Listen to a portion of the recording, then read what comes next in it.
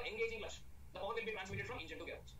Whenever the clutch is disengaged, whenever we are removing this intermediate element, there is no transmission of power from engine to gearbox. Whenever there is no transmission of power, can we change gears? Yes, we can simply change gears in gearbox transmission mechanism. It's all? See, you have to change gears. There should be some disconnection